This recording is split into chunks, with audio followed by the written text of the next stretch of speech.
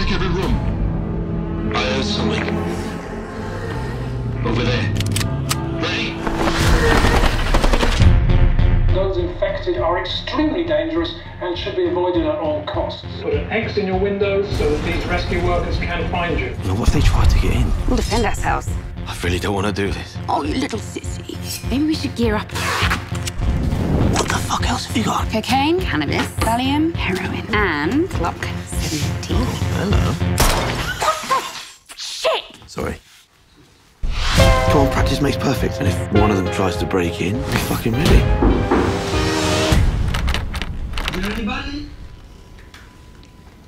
Oh, hi. Would you mind if we come in? You wouldn't happen to have anything to eat? We need to do something before they eat all our food. If there's were anything that we can do to help, our socks. If you could pair them up, that would be great.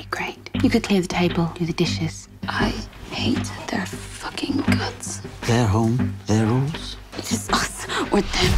I Love it when you get all evil. Well, why don't we just tell them to go? How would that make us look? The whole neighborhood would find out that we hadn't helped them. It's going to be okay. Soon all of this will be over. Everything will return back to normal. Should we do it now? If they're out to get us, what do you want to do about it? I have an idea. You realize that this is gonna come down to them or us. I'll treat you like a queen. We're going to wake up to the sound of a knocking at the door. It's the rescue team. But we're going to get through this. Where are we gonna go? We plan our escape. Are you ready for this?